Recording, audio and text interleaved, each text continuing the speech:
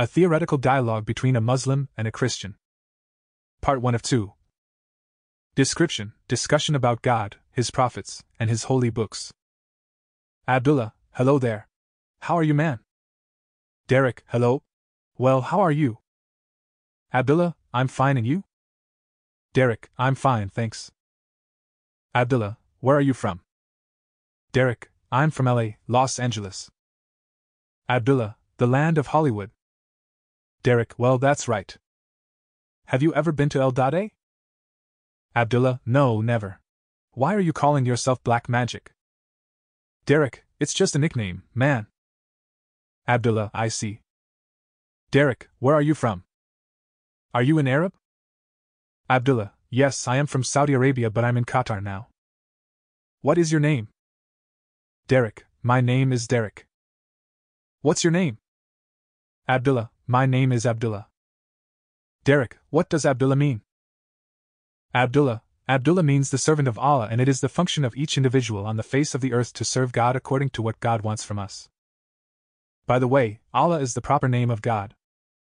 Derek, how do we know what God or Allah wants from us?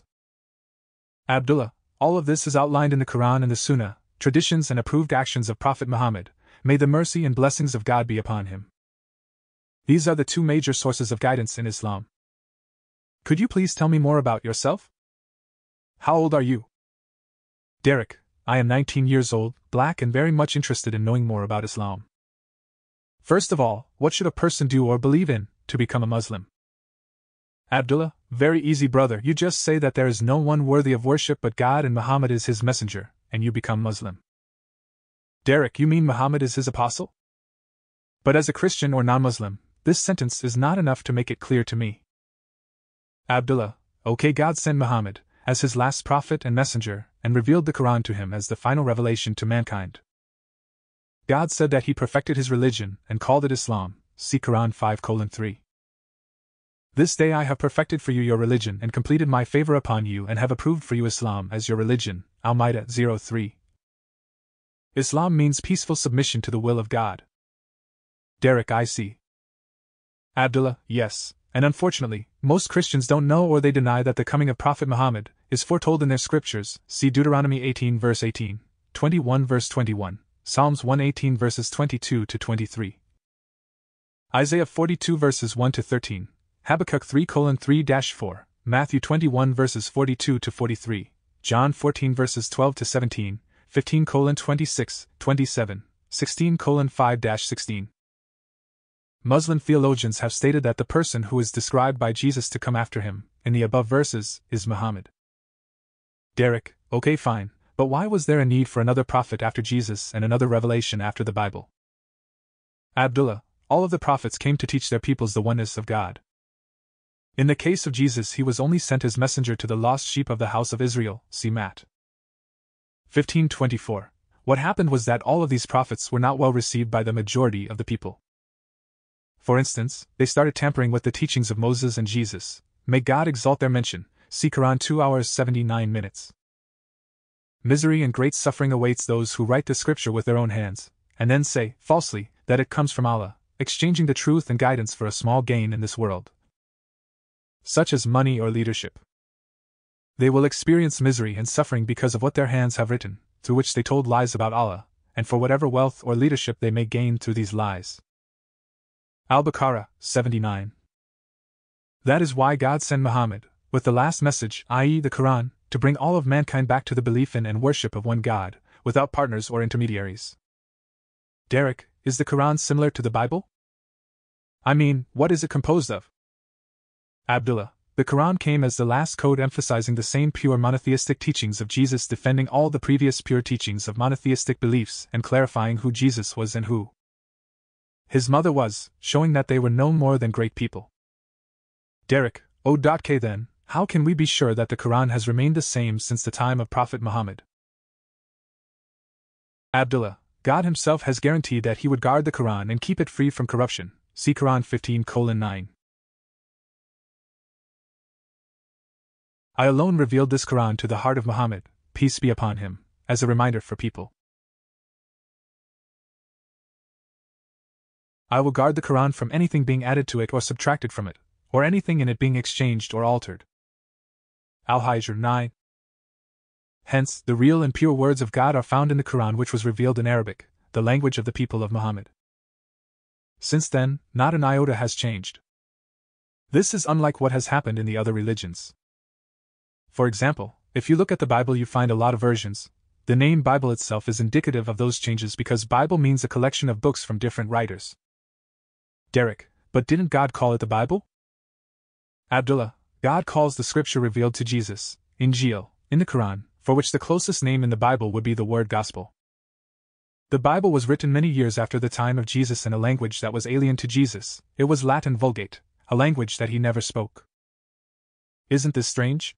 Interestingly, most of what was written in the New Testament was authored by Paul, who, according to James, the brother of Jesus in the Bible, had a polluted mind because he changed and contradicted most of the teachings of Jesus.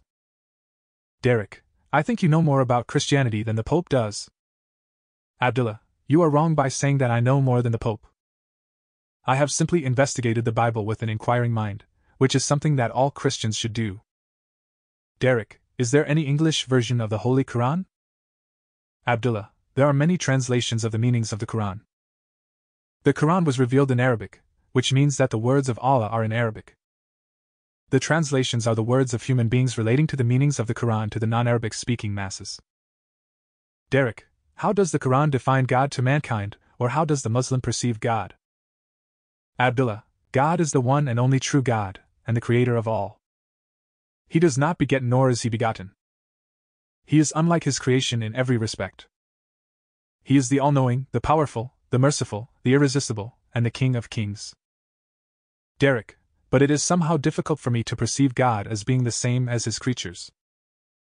Abdullah, you are absolutely right to have difficulty perceiving this, because human beings have a limited capacity.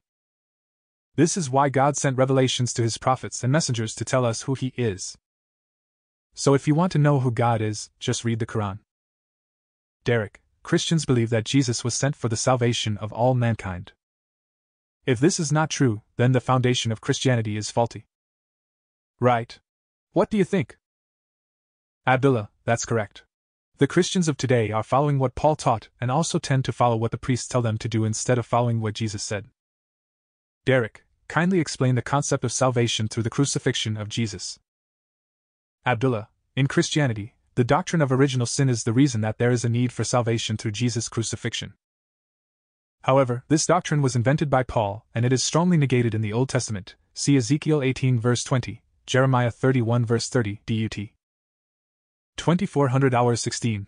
This doctrine is an attempt to escape the responsibility of righteousness with the belief that punishment is given to someone else to release us from our burden of sins. See Ephesians 1 verse 7, Romans 4. 25, 10 9, Corinthians 15 21. In the Quran, every soul is responsible for its own deeds, good or bad. See Quran 74 38, 41 46, 325, 6 164. Every soul will be taken to task for the actions that it did. Either its actions will destroy it, or they will release and rescue it from destruction. Al Mudathir 38. Whoever does good deeds, the benefit of his actions returns to him, because no one's good deeds benefit Allah. And whoever does bad deeds, the effect of that return to him because no one SS sins harm Allah. Allah will soon regite each person according to what they deserve. O Messenger! Your Lord is not oppressive to his servants, he will never decrease even one good deed of theirs, nor increase an evil one. Fussilat 46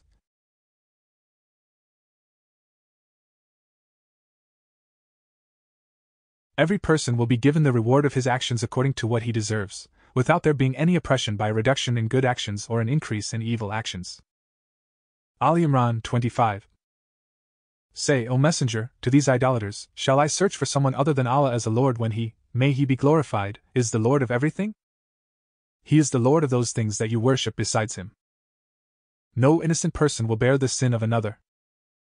Then your return will be to your Lord alone on the day of judgment, and He will inform you about religious matters that you used to differ about when you were in the world. Al-An'am 164. Derek, what about the crucifixion itself?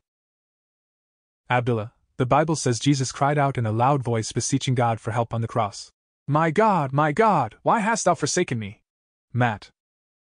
27 46. Does that sound like Jesus to you? Derek, no, then what about Jesus' appearance to his disciples after the crucifixion? Abdullah, Jesus didn't die on the cross nor was he resurrected. If he were resurrected, then he would have come to his disciples in a spiritual body. As shown in Luke 24 verses 36 to 43, he met them with his physical body after the event of his alleged crucifixion. In the Quran, it says that Jesus was not crucified, but it was someone else who was made to look like him. See Quran 4 156 158. And I distanced them from my mercy because they disbelieved and because they falsely accused Mary of fornication. I cursed them because they proudly, but falsely said, We killed the Messiah, Jesus, son of Mary, the messenger of Allah. They did not kill him as they claimed, nor did they crucify him, but they killed and crucified a man whom Allah made to resemble Jesus, so they thought the person who was killed was Jesus.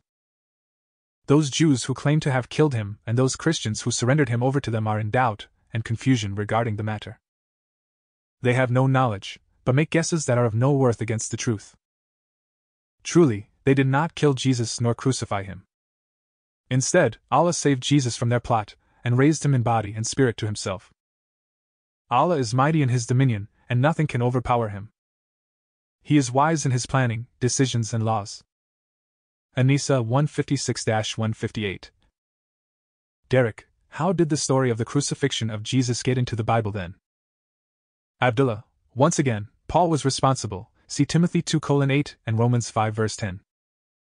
Derek, well, I very deep in my heart believe that God can never look like his creation nor does he do what they do. What I believe is that God is the perfect one who is very much different from everything we see or touch. In other words, I think the writer can never look like his book. Abdullah, you are right. There is nothing comparable to God, see Quran 112 4 nor does he have any equal from his creation. Nor is there to him any equivalent. Quran Ikhlas 112 4. The prophets came with a very clear message to worship God alone, without any partners or intercessors. However, Paul took pagan beliefs and practices from the Romans and mixed them with the teachings of Jesus. Consequently, Paul was mostly responsible for elevating Jesus to the status of Son of God, see Acts 920 and God. Derek, yes. Now I remember. The first commandment is Hear, O Israel, the Lord our God is one Lord. Abdullah, you're right. That's in Mark 12, verse 29. Moreover, the Quran confirms that God is one, which means, Say He is Allah, the one and only God. Quran 112 1. Say, O Messenger, He is Allah who is alone in being a deity. There is no deity except Him. Say, he is Allah, who is one. Alone, without another, indivisible with absolute and permanent unity and distinct from all else. The one and only true deity, unique in his essence, attributes, and deeds. He is the master to whom belongs all sovereignty and perfect, beautiful qualities. The one to whom all creation turned to. Allah, the eternal refuge. He who is absolute, perfect, complete, essential, self sufficient and sufficient to meet the needs of all creation. The one eternally and constantly required and sought, depended upon by all existence, and to whom all matters will ultimately return. The one who did not give birth to anyone, nor did anyone give birth to him. So he has no offspring, may he be glorified, nor any parent. He either begets nor is born. Quran Ikhlas, 112 1 3. Derek, what you are saying makes perfect sense. This is just incredible. You mean that for almost 2,000 years what the Christians have been following is wrong? A theoretical dialogue between a Muslim and a Christian, part 2 of 2. Description, expressions of truth, and steps of conversion. Abdullah, yes, especially their misunderstanding of who Jesus was. Derek, oh my god! I've been deceived. Really, I feel religiously raped.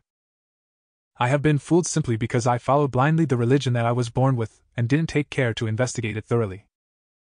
But still inside me there is something holding me back from accepting Islam, even though Islam is clearly the true religion. Abdullah, your last comment shows that you are a Muslim, not a Christian, and if you really love God and His Messenger Jesus, you will follow Islam and Prophet Muhammad. May the mercy and blessings of God be upon him. Break this barrier inside you and come back to the way of your ancestors. You are now free because you are looking for the truth, and our great prophet Jesus told us that we should look for the truth, and the truth will set us free. So you will be a free man as soon as you accept it. Be strong enough to accept Islam as the truth, without any hesitation on your part, and you will taste real freedom and real happiness that you have never tasted before. Derek, frankly, I am concerned about the negative way Islam and Muslims are shown in the media. In the West, there is a stigma attached to being a Muslim, and I'm not sure I'm ready to live with that stigma. Abdullah, this is why I have chosen to tell people about the right picture of Islam. Derek, then, what is the right picture of Islam? Abdullah, the right picture of Islam is conveyed in the Quran, which is exemplified by Prophet Muhammad. The reality is that it is not fair to judge a religion by the actions of its followers alone, because there are good and bad followers in every religion. The correct thing to do is to judge a religion by its documented revelation from God and the Prophet who brought that revelation. Derek, I see. I agree with you, but I'm still concerned about the reaction of my family and friends if they know that I am a Muslim. Abdullah, brother, on Judgment Day, no one will be able to help you, not even your father, mother, or any of your friends. See Quran 31 33. O people! Be mindful of your Lord by fulfilling His commands and refraining from His prohibitions, and fear His punishment on the day when no father will be able to benefit his child. Nor a child benefit its father in the slightest. Indeed, the promise of Allah of regital on the day of judgment is true and will inevitably be fulfilled, so let not the worldly life and whatever desires and amusements it contains deceive you. Nor let Satan deceive you by misunderstanding the forbearance of Allah and his delaying the punishment from you. Luqman 33 so if you believe that Islam is the true religion, you should embrace it and live your life to please the one who created you. Be an illuminating torch for them. Do not delay your coming to Islam. If you die before becoming a Muslim, then it's too late. See Quran 2 colon 132, 3 colon 102, 3 hours 85 minutes. Abraham advised his sons to also say, I have surrendered to the Lord of people, and Jacob told his sons to do the same. They told their sons that Allah had chosen for them the religion of surrendering and devotion, Islam, and to hold on to it tightly until they died. Surrendering sincerely to Allah on the inside and the outside. Al Baqarah 132. O you who have faith in Allah and follow His Messenger, be mindful of Allah as you have been commanded, by following what He instructs you to do. By staying away from what He prohibits you from doing, and be thankful for His favor, holding firmly to the religion He has given you, so that when you die, you die surrendering in devotion to Him. Ali Imran 102 Whoever seeks a path other than that which Allah has endorsed the path of surrendering, Islam, it will not be accepted from them by Allah. They will be of those who have lost their souls by entering the fire of hell. Ali Imran 85 So grab this opportunity now. You can only remedy this pain inside you by becoming a Muslim, and being able in the future, God willing, to come and perform pilgrimage, Hajj. Derek, you are very wise man. I want to say that when I sometimes see on the satellite, especially in the season of Hajj, people of different colors and different races sitting side by side and praying to God.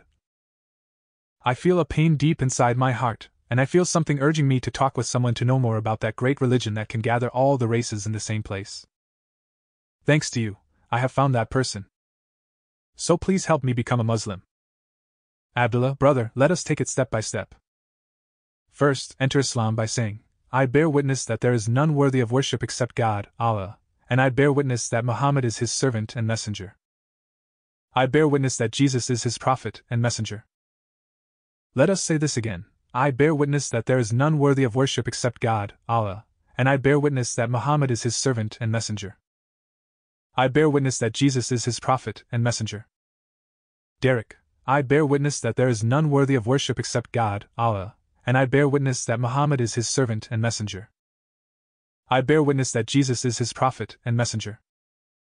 Abdullah, by the way, Jesus' name is not Jesus. It is a Latinized name. His real name is Isa. Now you will say the same thing in Arabic, the language of the Quran. I will transliterate for you, Ashhadu an la ilaha illallah, wa ashhadu anna Muhammadan Rasulullah, wa ashhadu anna Isa Abdullahi wa Rasuluh. Derek, Ashhadu an la ilaha illallah, wa ashhadu anna Muhammadan Rasulullah, wa ashhadu anna Isa Abdullahi wa Rasulu.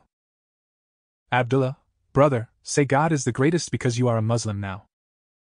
You are not a Christian anymore. You are in the house of Islam. If I were with you, I would hug you as my brother in Islam. How do you feel now? A burden has been removed from you and you feel like you are so light. Isn't this right? Derek, if you were with me now, you would have seen my tears reaching my neck. You are a great brother. I feel that I have just come to life. This is exactly how I feel from now. I don't have to listen to the words of the priests in the church, who knowingly or unknowingly lead people astray. I hope to be a good servant of God. Abdullah, you know what came out of you was disbelief and it was replaced by belief. You are so clean now, because when someone embraces Islam sincerely, God forgives all of his past sins. So, go to an Islamic center that has Muslims from all over the world and announce your Islam there and continue to learn more about Islam from them. In addition, find a book on prayer in Islam and practice it. This is essential. Now, after you are through with me, you must take a shower to purify yourself from previous wrong beliefs. Remember to stay away from bad company and be with righteous Muslim people. Also, beware of those so called Muslims who call to nationalistic ideas or racial thoughts, which are rejected in Islam. I love you as a brother in Islam, and I hope one day I will see you and hear your voice. Derek, I will for sure do what you have asked. And tomorrow I will go to the Islamic Center. Thank you for showing me the truth. I will do my best to meet people who know about Islam for sure. May God help you guide more and more people to the true Word of God. There is no true God but God, Allah, and Muhammad is His messenger. Well, it is as difficult for me as it is for you to leave you. Well, brother, you will not leave me for a long time. I will soon be with you through my supplications, God willing. Pray for me, brother. Derek, well, I thank you. I love you although I do not know you yet. But it is enough for me to remember that one day, a very dear man has picked me up from the mud of life. Please teach me another Islamic word in Arabic so as to make use of it in the Islamic Center. Abdullah, Assalamu alaikum wa rahmatullahi wa barakatuh and astaghfirullah. Derek, what do they mean? Abdullah, may the peace, mercy, and blessing of God be upon you. This is used as a greeting to all Muslims. The last word means, God forgive me.